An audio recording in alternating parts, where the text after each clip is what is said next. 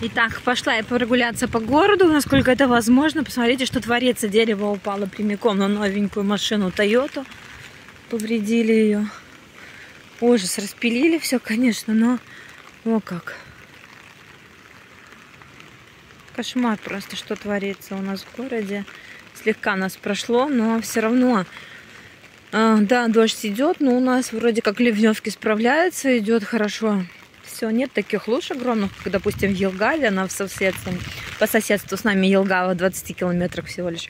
И вот, посмотрите, деревьев повалено много. Сейчас только посмотрим первую часть. Это вот непосредственно у нас стация с улицы, стация с 34, частный дом. И здесь вот упало дерево прямо на машину. Я так понимаю, что машина в хлам будет разбитая, раз она накрытая уже.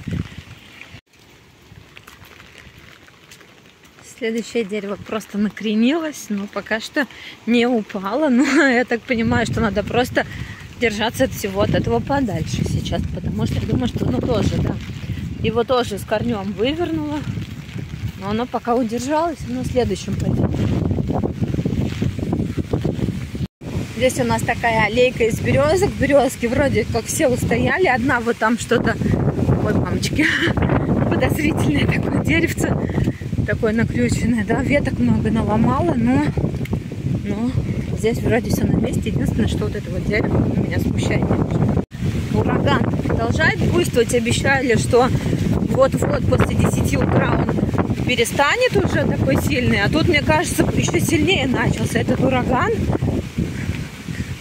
Возможности просили всех оставаться дома, ну, если есть возможность, конечно, останешься дома. Но у меня нет возможности, мне нужно было срочно пойти Поэтому вот здесь, слава богу, так выглядит, что все тихо, спокойно. У нас есть еще межапарк. Ну, в межапарке и там вообще творится самое страшное. Там одни деревья, все эти деревья, я думаю, будут повалены. Вот как выглядит наш маленький городок после урагана, бури, как он правильно считается, Кирсти.